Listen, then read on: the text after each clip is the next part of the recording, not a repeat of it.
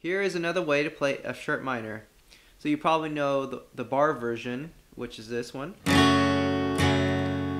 And you're barring the whole second fret right there, and you are on the fourth fret for the ring finger and the pinky.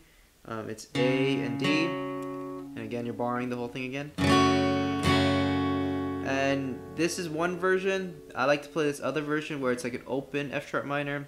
And you're taking the index, you're going to the G string, and then you're gonna play the chord.